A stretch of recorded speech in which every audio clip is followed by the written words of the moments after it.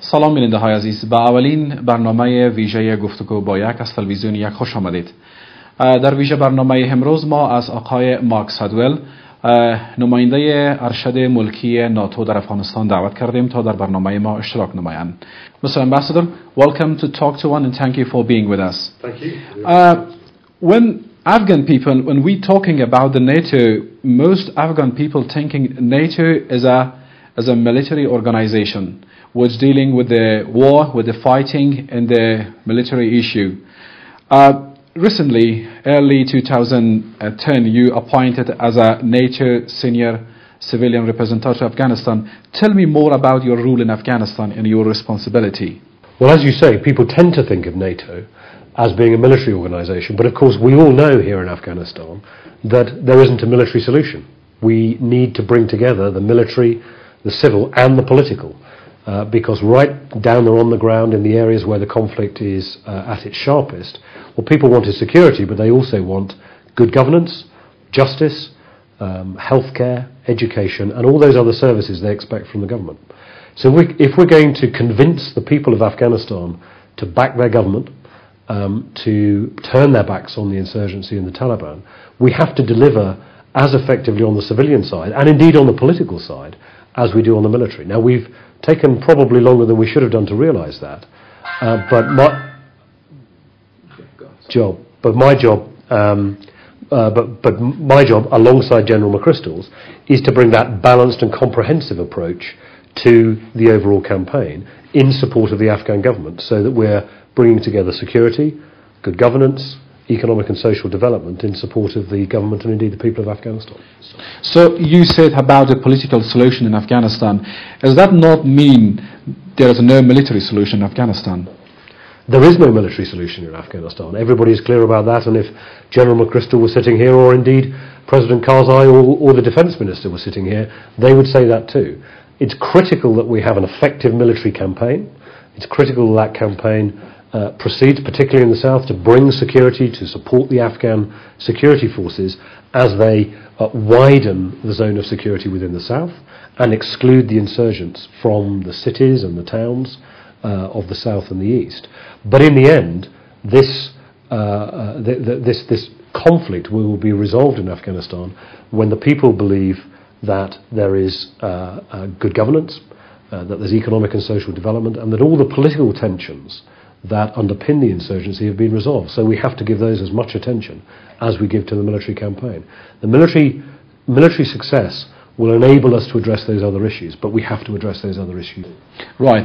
Um, you said there's a no military solution. When there's a no military solution, why United States sending thousand troops, more troops to Afghanistan, and asking and sometimes begging for other international allies to send more troops to Afghanistan?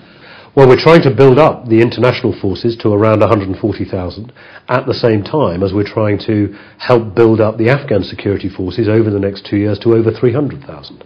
As I said, although there is no military solution, security and the military part of this is absolutely critical. Without an effective military campaign in support of the Afghan security forces, without strong Afghan security forces, we can't create the security conditions within which the things that the people really want justice, healthcare, education, roads, irrigation ditches cleared, agriculture, and all of that, um, and the political tensions resolved.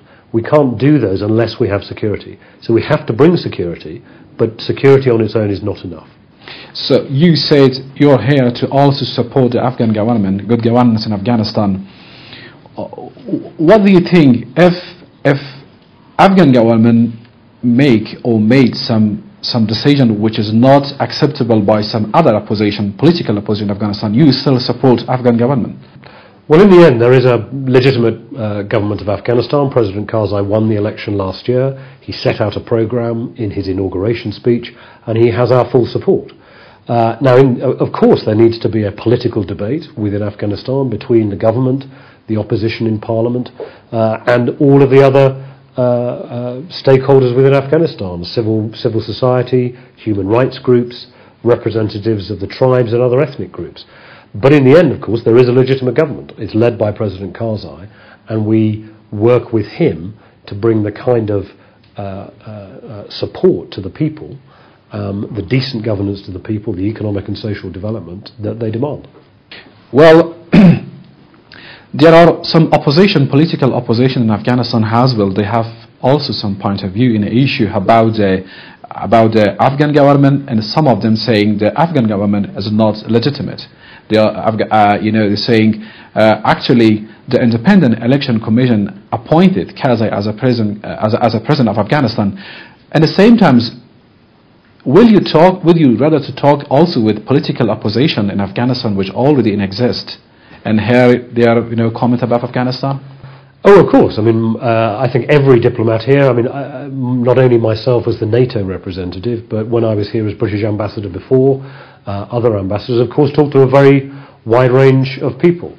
Uh, not only the president and his ministers, but I uh, had, a, had a close contact and still see Dr. Abdullah from time to time. We see other political leaders, Speaker Kanuni, uh, Speaker Mojaddedi and of the upper house, all of the other political leaders we talk to a great deal. Because on the big issues uh, that face Afghanistan, uh, about bringing a political settlement, about ensuring that the peace jirga is a success, mm-hmm. about ensuring that the uh, international forces and the Afghan forces are working together to bring security, mm-hmm. about building a strong economy. On those issues, there's agreement across all of the political leadership of Afghanistan, whether they're in government or in opposition. And it's absolutely right that we have contacts with all of them. But in the end, there is a government of Afghanistan. President Karzai is the president of Afghanistan. We've all uh, recognized uh, his election as entirely uh, legitimate. He, he, uh, he was elected uh, last year.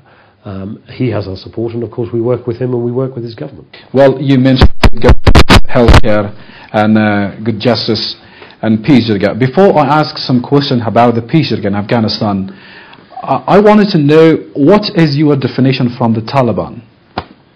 Um, President Karzai called them brothers. Yeah.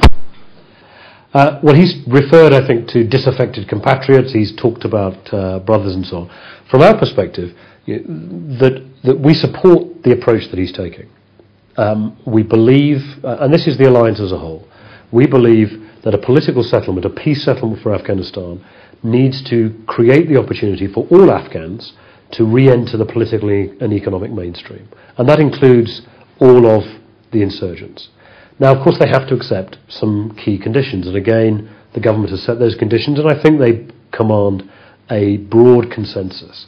Uh, the really two key conditions. First, um, respect and acceptance of the Afghan constitution, the territorial integrity of Afghanistan, uh, and all of the provisions of that. And then, secondly, renouncing violence as a political tool and renouncing any contact with terrorist groups such as Al Qaeda.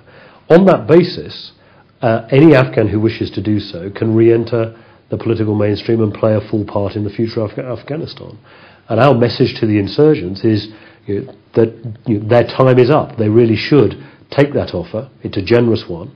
Uh, the peace jirga will, I believe, endorse it, and then it will have the consent of the entire country. Uh, and uh, the international community is strongly behind it.